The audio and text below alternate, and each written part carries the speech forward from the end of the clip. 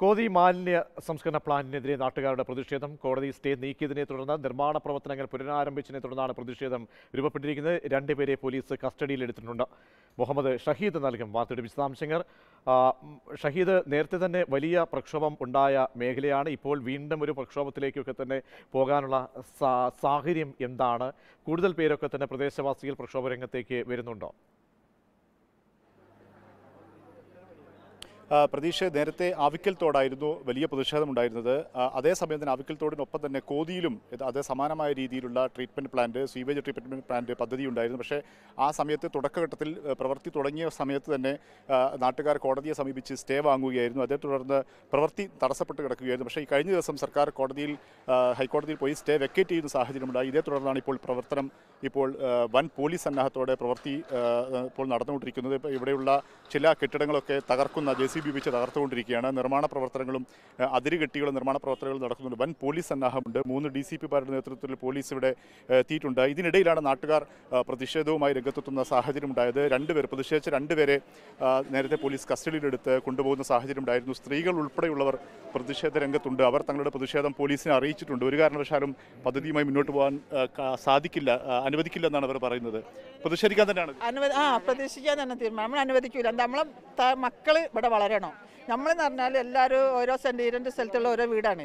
നമുക്ക് തന്നെ കുറേ സ്ഥലങ്ങളൊന്നുമില്ല. അപ്പം നമ്മൾ മക്കൾ വളരാനുള്ള സ്ഥല പ്രദേശമാണിത് അത് നാറ്റിക്കാൻ നാട്ടിക്കാൻ നമ്മൾ സമ്മതിക്കും ഈ കോടതിയിലെ സ്റ്റേ വെക്കേറ്റ് ചെയ്തു. വൻ പോലീസ് സന്നദ്ധത്തോടുകൂടി പ്രവൃത്തി നടത്തോണ്ടി നടന്നുകൊണ്ടിരിക്കുകയാണ്. ഇതിനെങ്ങനെ നേരിടാനാണ് എങ്ങനെ നേരിടും നമ്മൾ എങ്ങനെ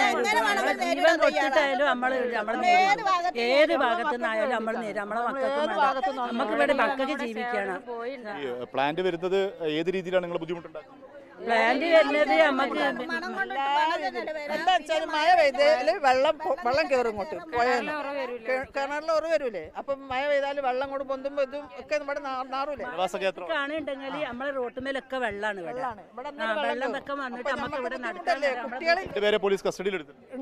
അതന്നെ നമ്മുടെ എതിർത്തേന്. അതാണ് കഴിഞ്ഞ നാൽപ്പാളെ എടുത്തിക്കണ്. അതാ പറഞ്ഞത് ഇവർ അങ്ങനെ വരാ രാവിലത്തെ വരാ. ആണുങ്ങളൊന്നും ഇല്ലാത്ത സമയത്ത്. നോമ്പിന് വന്ന് കൊറേ ആൾക്കാർ വന്ന് കൊണ്ടുപോയി. ഇപ്പൊ ആണുങ്ങളില്ലാത്ത സമയത്ത് അവർ വരുന്നത്. പിന്നെ പെണ്ണ് മൂന്നാൽ പെണ്ണുങ്ങൾക്ക് എന്ത് ചെയ്യാൻ പറ്റും? ഇവിടെ വീട്ടിൽ ആണുങ്ങളില്ലാത്ത സമയം വെച്ചാൽ അവർ വരാം.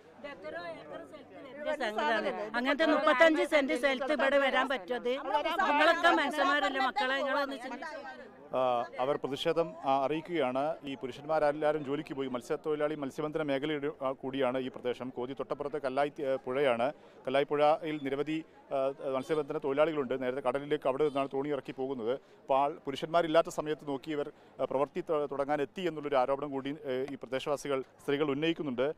അല്പസമയത്തിനകം തന്നെ ഇവിടെ ഇവിടെയുള്ള ഒരു റോഡ് ഉപരോധിച്ച് പ്രതിഷേധം ശക്തമാക്കുമെന്ന് നാട്ടുകാർ അറിയിച്ചിട്ടുണ്ട്. വൻ പോലീസ് സന്നാഹം ഉള്ളതുകൊണ്ട് തന്നെ വലിയ പ്രതിഷേധത്തിലേക്ക് ഇപ്പോൾ ആളുകൾ പോകുന്നില്ല. കാരണം നേരത്തെ പ്രതി സൂചിപ്പിച്ചതുപോലെ ആവിക്കൽ തോട് പ്രതിഷേധത്തിനെതിരെ വലിയ വലിയ രീതിയിലുള്ള പോലീസ് അതിക്രമം ഉണ്ടായിരുന്നു നിരവധി പേർക്ക് പരിക്കേൽക്കുന്ന സാഹചര്യമൊക്കെ ഉണ്ടായിരുന്നു. അങ്ങനെ ഒരു ആശങ്ക കൂടി നാട്ടുകാർക്കുണ്ട് ഏത് വിധേനയും ഇത് തടയുമെന്ന് നാട്ടുകാർ പറയുമ്പോഴും പോലീസ് സന്നാഹത്തിന് മുമ്പിൽ പകച്ചു നിൽക്കുന്ന ഒരു സാഹചര്യം കൂടിയുണ്ട് എന്നുള്ളത് തന്നെയാണ്. ഏതായാലും ഇവിടെ ഈ മൂന്ന് ഡി സി പിമാരുടെ നേതൃത്വത്തിൽ നൂറുകണക്കിന് വിവരങ്ങൾ നൽകിയത് ആവിക്കലിലെ മാലിന്യ സംസ്കരണ പ്ലാന്റ് സമരത്തിന് തൊട്ടു പിന്നാലെ കോതിയിലും ഇപ്പോൾ ജനങ്ങൾ പ്രതിഷേധവുമായി മാലിന്യ പ്ലാന്റിനെതിരെ രംഗത്ത് വരികയാണ്.